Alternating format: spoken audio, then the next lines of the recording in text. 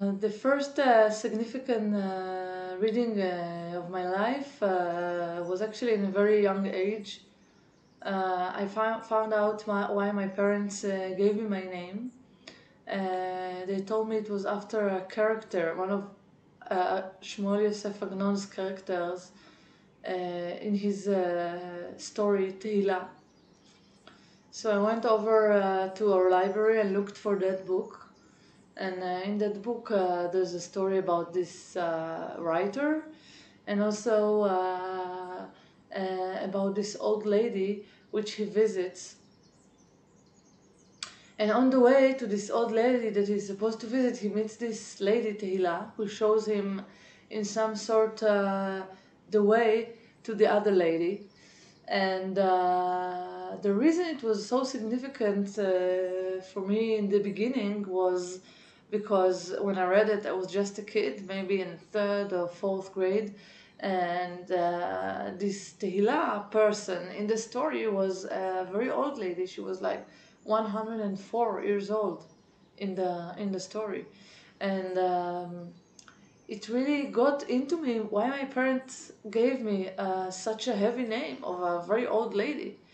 And uh, year after year, I uh, got back to the story, and I, I think I read it over 15 times. And each time I visited uh, this story again and again, I found something else there. It's a masterpiece. And uh, I'm not sure yet uh, why my parents gave me that name, but I'm, I'm sure very much uh, happy about that name because it gave me a, a very uh, um, special motivation to reread uh, such a beautiful story uh, again and again. Well, I started writing in a very young age, maybe in my teens, uh, but uh, back then, of course, I didn't publish anything. Um, and I think the reason I started writing back then was uh, because I always uh, loved books.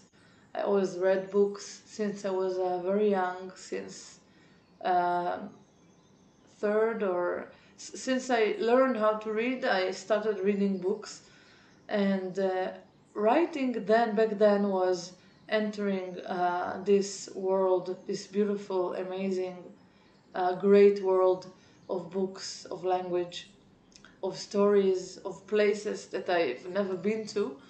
And um, writing later, uh, writing and publishing, and uh, becoming a publishing uh, writer or poet uh, was after understanding that I have something important to say. I have the urge and uh, to say it, and I I had the feeling that I got my specific way to say what uh, I must say.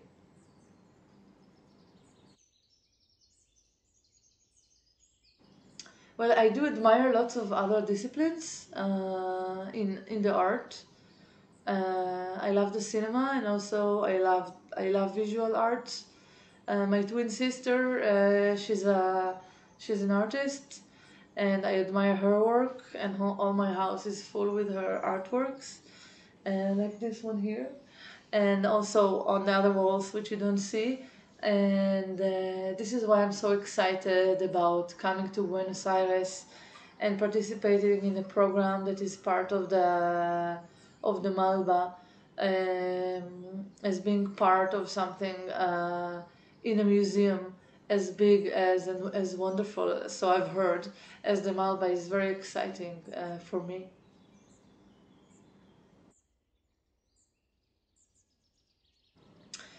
Well, in my case, traveling and writing does has a very strong bond.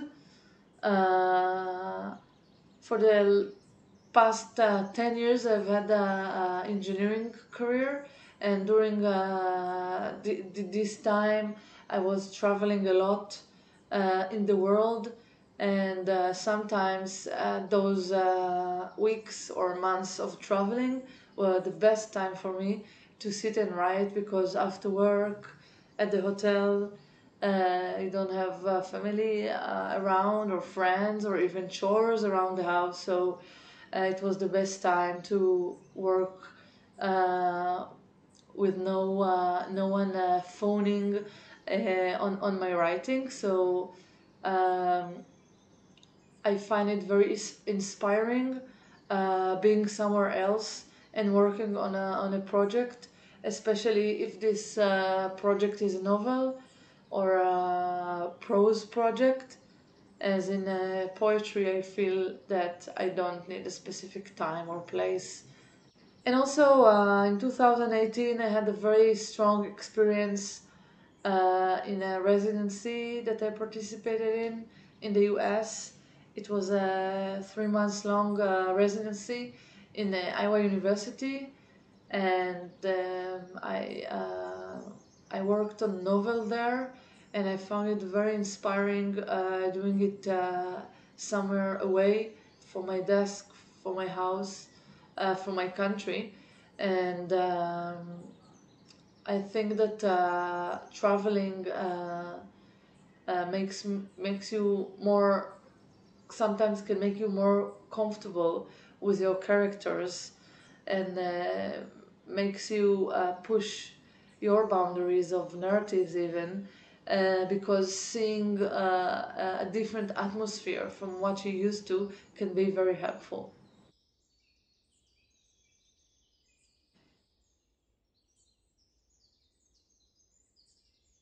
Well, I'm not sure yet how the pandemic will affect my uh, my literature or my writing. I do know that it made everything uh, slower around.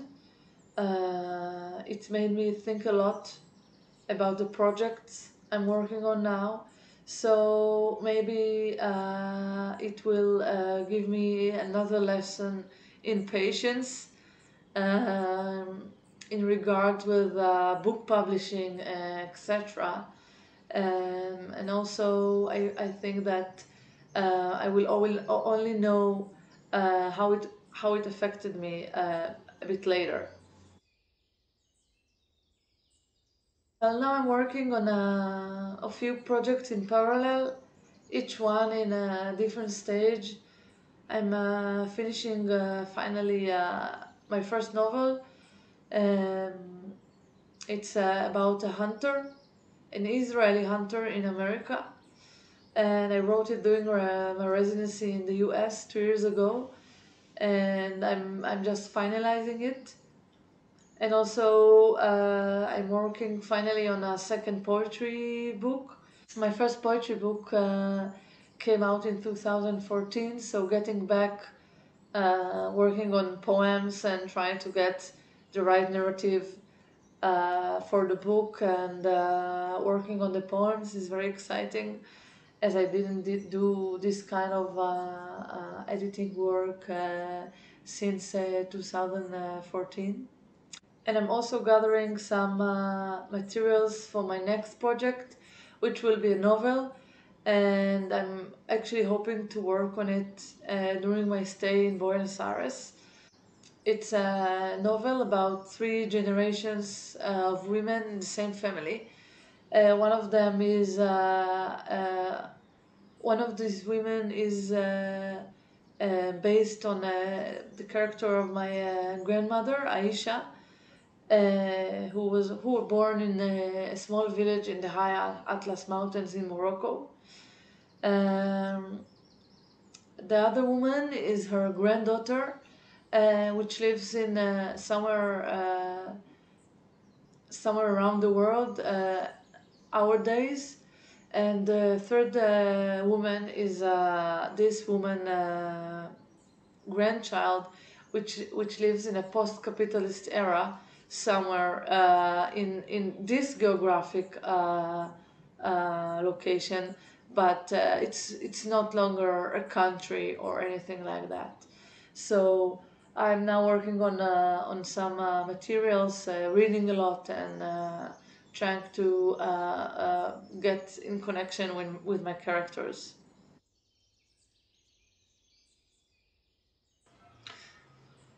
So I'm always uh, reading a few books uh, in the same time.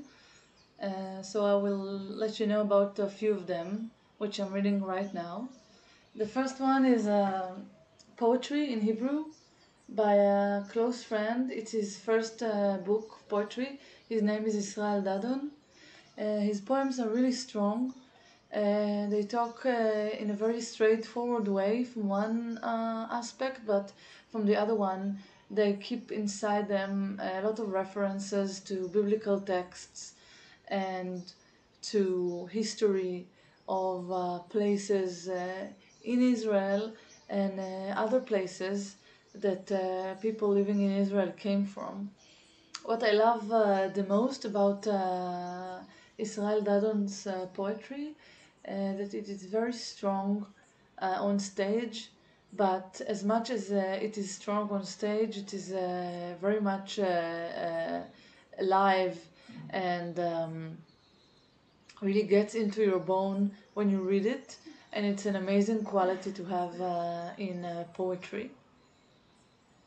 And the other uh, uh book that I'm reading right now, it's an anthology uh, by Granta Magazine, which we have it here also in Hebrew.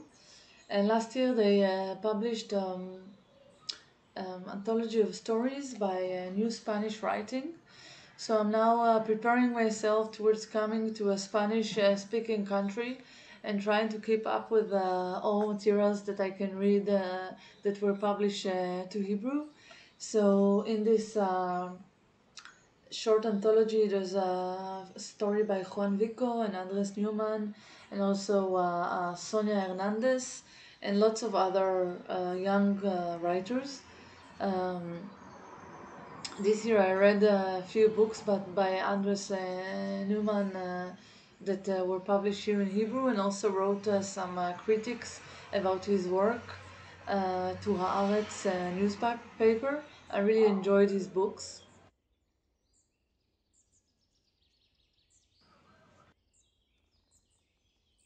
I haven't been to Argentina and I'm very much excited about coming there uh, next year.